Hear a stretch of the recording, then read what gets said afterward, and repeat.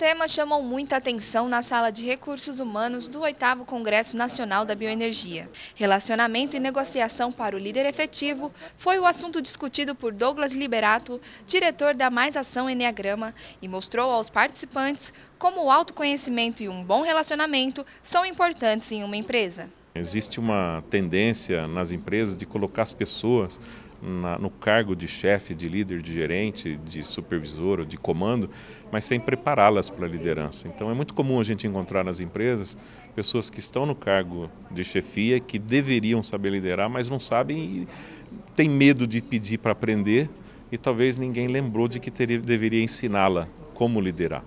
Mas liderar não é algo fácil, é algo extremamente desafiador, complexo, porém muito possível. Um diferencial da sala foi a presença do médico do trabalho da usina Vertente, do Grupo Guarani, que falou sobre a gestão de saúde, a importância de ações preventivas e também sobre os problemas enfrentados pelas empresas nessa área. A gente vê os acidentes de trabalho como uma das causas hoje é, é onde mexe demais com as pessoas, quando alguém acidenta, quando alguém sofre algum acidente grave, né?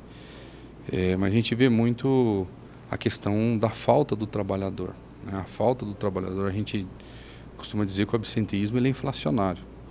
Quando falta esse trabalhador, você precisa colocar alguém no lugar dele, ou se você não coloca, você direciona a equipe para cobrir aquele trabalho. Então aquilo ali vai gerar hora extra para aqueles trabalhadores, vai gerar também uma carga é, de trabalho muito maior.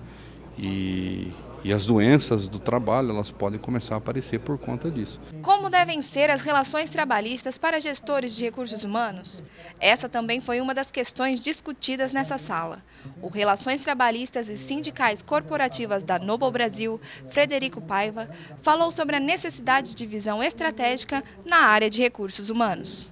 Sejamos pessoas focadas, que tenhamos os indicadores todos na, na mão, que nós façamos aí uma releitura, que entendamos melhor do negócio, que, que esse profissional tem que ir na frente de trabalho, ele tem que estudar um pouquinho, ele tem que conhecer o mercado, ele tem que conhecer aonde ele está inserido para ele poder propor as melhores mudanças e a redução dos custos para as empresas. Saúde, segurança e meio ambiente do trabalho é um tema de grande importância no setor.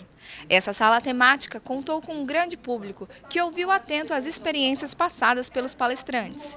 O engenheiro de segurança do trabalho da Raizen, João Paulo de Almeida, abordou sobre a gestão de cultura de segurança nas agroindústrias sucroenergéticas.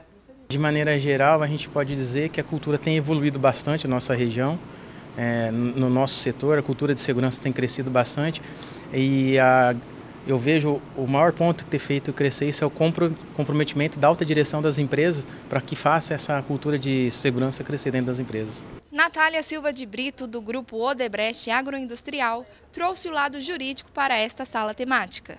O assunto sanou dúvidas dos congressistas na área de saúde, segurança e meio ambiente do trabalho e colaborou para uma importante troca de experiências. Falei sobre atestados, é, afastamento, impugnação de benefício, acho que são coisas que sempre trazem muita dúvida, né?